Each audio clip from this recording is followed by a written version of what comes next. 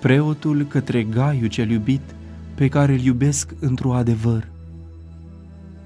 Iubitule, mă rog să ai spor în toate și să mergi bine cu sănătatea, precum bine mergi cu sufletul.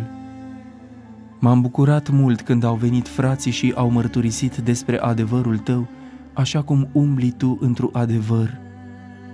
Mai mare bucurie decât aceasta nu am ca să aud că fiii mei umblă într-un adevăr. Iubitule, cu credință faci oricâte faci pentru frați și aceasta pentru străini care în fața bisericii au dat mărturie despre dragostea ta. Bine vei face să-i ajuți în călătoria lor, după cum se cuvine înaintea lui Dumnezeu. Căci pentru numele lui Hristos au plecat la drum fără să ia nimic de la neamuri. Noi deci datori suntem să sprijinim pe unii ca aceștia, ca să fim împreună lucrători pentru adevăr.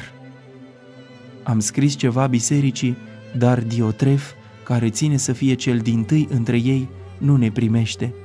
Pentru aceea, când voi veni, îi voi pomeni de faptele pe care le face, defăimându-ne cu vorbe urâte. Și nemulțumit fiind cu acestea, nici el nu primește pe frați, nici pe cei care voiesc să-i primească nu-i lasă și îi dă afară din biserică. Iubitule, nu urma răul, ci binele. Cel ce face bine din Dumnezeu este, cel ce face rău n-a văzut pe Dumnezeu.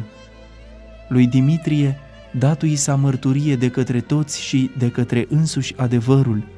Mărturie îi dăm și noi și știi că mărturia noastră este adevărată.